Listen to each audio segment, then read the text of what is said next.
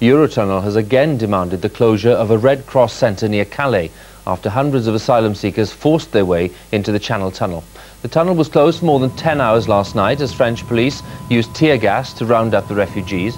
Police in Kent said no one reached the English side. The tunnel has now been reopened. Nearly 3,000 people have fled from their homes tonight as bushfires continue to spread out of control in southeastern Australia. A quarter of a million acres have ignited as high winds fan the flames, threatening to engulf towns close to the suburbs of Sydney itself. Thousands of firefighters are battling the blazes and ambulance crews have treated hundreds of people for the effects of smoke. One of Britain's most popular actors, Sir Nigel Hawthorne, has died. He was 72. He'll be best remembered, of course, for his performance as Sir Humphrey in the BBC television series Yes Minister. He'd been fighting cancer, but he died of a heart attack this morning. Nick Higham has been looking back. Nigel Hawthorne had to wait till he was past 50 to taste success in a part that fitted him like a glove. The top civil servant, Sir Humphrey, in Yes Minister. I believe you know each other. Yes, we did cross swords when the minister gave me a grilling over the estimates in the Public Accounts Committee. I wouldn't year. say that. Well, you came up with all the questions I hoped nobody would ask. Well, opposition's about asking awkward questions. And government is about not answering them. Well, you answer all mine anyway. I'm glad you thought so, Minister. They loved his portrayal in Margaret Thatcher's Downing Street. Sir Humphrey embodies um, the sophistication, the uh, polish, the uh, uh, superb intellect, the smoothness, not to say sleekness, of the men who run these impeccable machines as they see it. After 30 years of bit parts, he was able to pick and choose his roles, as the writer C.S. Lewis on stage in Shadowlands, for instance, or as Alan Bennett's Mad King George, for which on screen he won an Oscar nomination.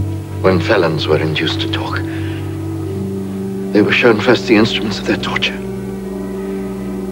The king is shown the instrument of his to induce him not to talk.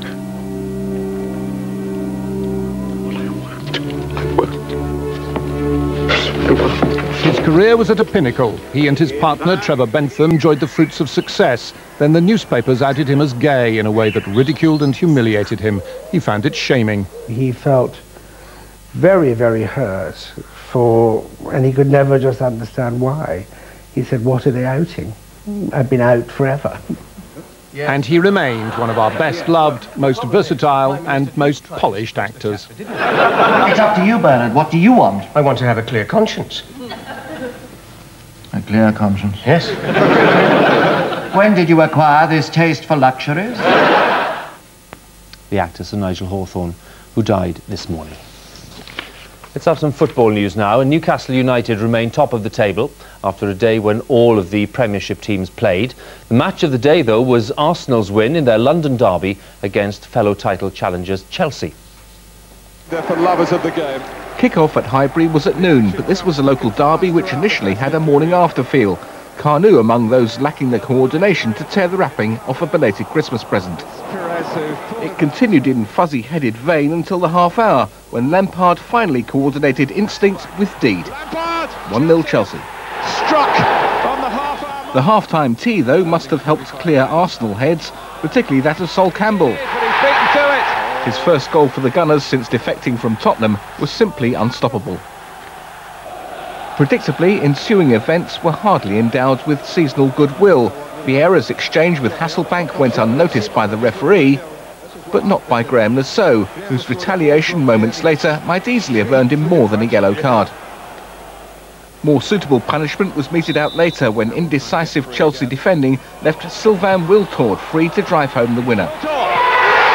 Whether thanks to the failings of others or not, Arsenal's championship challenge is acquiring increasing authority. Kevin Geary, BBC News. England captain David Beckham started on the substitutes bench for the sixth game in a row, but still helped Manchester United to beat Everton today. It was Beckham's cross to Ryan Giggs which allowed United to open the scoring. Giggs then set up Ruud van Nistelrooy for United's second to seal their fourth successive win. And Liverpool are in third place now after beating Aston Villa, while Jonathan Woodgate returned for Leeds as they won at Bolton. Ipswich are off the bottom after victory over Leicester, while Newcastle remain three points clear at the top after their convincing win today over Middlesbrough.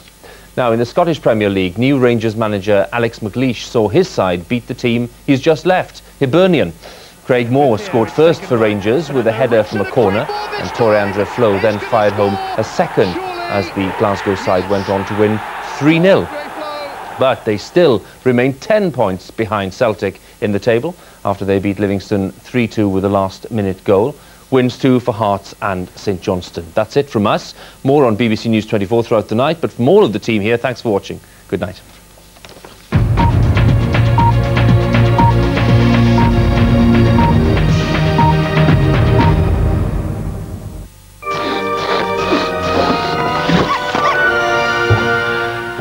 Evening to. Some more wintry weather to come in the next few days, especially the north of Scotland. Just look at this chart for Friday. Low pressure out here, loads of isobars, very windy indeed, gales or even severe gales, blizzard conditions, bitterly cold, temperatures well below freezing, so stay away from those Scottish hills. And it's not only going to be Friday, later on during tomorrow too some more snow and we have some snow there at the moment this little area of low pressure is going to be slipping down into the North Sea we're also seeing some rain and sleet further south into southern Scotland and parts of northern England and that's falling where the temperatures recently were below freezing so again watch out there are some icy stretches around at the moment. Those two, though, I think will go in the next few hours. The area of low pressure will take the sleet and snow a bit further south. We will find that although temperatures at the moment are below freezing across a good part of England and Wales, as this band of rain with little bits of sleet and snow heads on southwards, so the temperatures will rise. On the other hand, in Scotland, temperatures will dip again as skies clear later on. Then tomorrow, for much of the country, a good deal of cloud, little bits and pieces of rain and drizzle here and there, maybe some sleet in the southeast to begin with.